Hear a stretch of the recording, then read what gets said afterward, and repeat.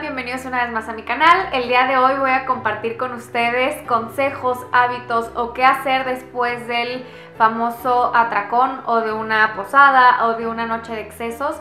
¿Qué es lo que se debe consumir o comer al día siguiente? ¿Cómo puedo cambiar yo mi alimentación? ¿Debo hacer alguna dieta? ¿Debo de hacer un detox? ¿Qué es lo mejor que puedo hacer un día después de haberme excedido tanto una noche anterior? El primer consejo que les voy a dar es que aumentemos la dosis de antioxidantes. Esta dosis fuerte de antioxidante va a proteger nuestras células contra todos esos radicales libres que consumimos una noche anterior.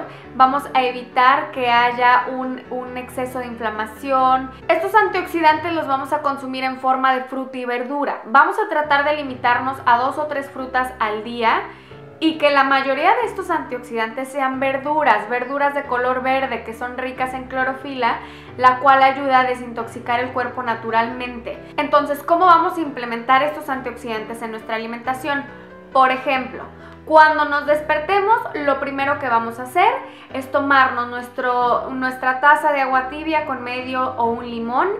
Esto para que desinflamemos, para que reforcemos el sistema inmunológico y también pues la vitamina C es una dosis de antioxidantes.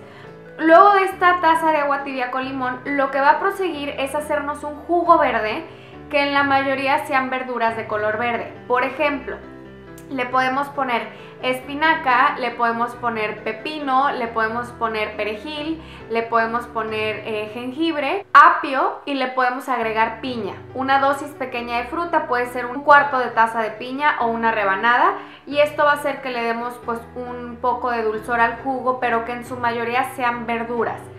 Estas verduras nos van a ayudar a eliminar esa retención de líquido después de haber abusado tanto una noche anterior y también nos va a ayudar a la desintoxicación natural del cuerpo. Después de este jugo verde, lo que vamos a hacer es esperarnos 20 minutos para poder desayunar, ¿ok?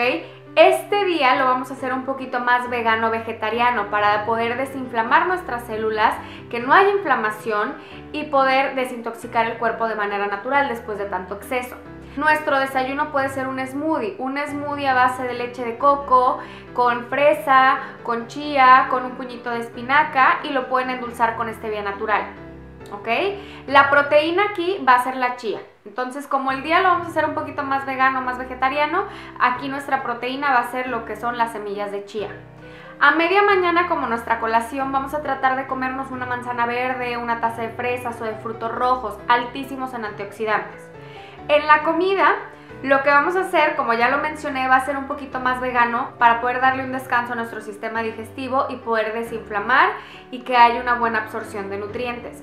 En la comida podemos combinar eh, media taza de quinoa, media taza de frijoles o garbanzos y medio plato de verduras o ensalada acompañado de una vinagreta o aguacate. Entonces aquí nosotros estamos haciendo una proteína complementaria al mezclar arroz integral con frijoles o quinoa con garbanzos y vamos a estar consumiendo la proteína vegetal de las leguminosas y de la quinoa. ¿Ok? A media tarde, como nuestra colación, lo que vamos a consumir son verduras, con dos cucharadas de hummus. Hummus es una crema de garbanzo. Si no les gusta, pueden escoger entonces un puñito de almendras. Un puñito me estoy refiriendo como a 10, 12 piezas, no un puño bastante grande ya que son densamente calóricas, o un puñito de frutos secos, pero que sean aproximadamente entre 10 y 12 piezas. Después de esta colación, nuestra cena tratar de hacerla ya sea un jugo verde, un licuado verde o puede ser una ensalada, una ensalada, verduras con aguacate, vinagreta. Todas estas comidas son altísimas en antioxidantes, son altísimas en fibra, vamos a ayudar a desinflamar, a darle un descanso al sistema digestivo y nos va a ayudar a recuperarnos de ese exceso. Ahora, ya dijimos que eh, mi primer consejo fue una alimentación alta en antioxidantes, que fue más o menos una alimentación vegana.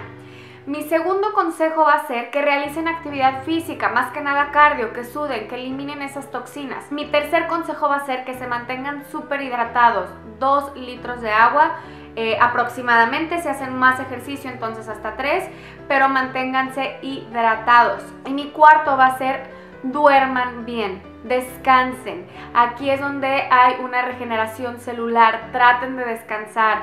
Al día siguiente, después de una alimentación un poquito más vegana, más vegetariana, tomen agua, ejercítense y descansen. Duerman entre mínimo 6, lo ideal serían 8 horas. Y de verdad que esto les va a ayudar muchísimo. Eh, compartan este video porque yo sé que es una época de posadas, de fiestas, viene Navidad, ya casi eh, en unos días. Entonces traten de compartir, de regalarme un like si les gustó. Por último, no olviden suscribirse a todas mis redes sociales, eh, que se las voy a dejar en la cajita de información, a mi canal de vlogs y nosotros nos vemos en el próximo video.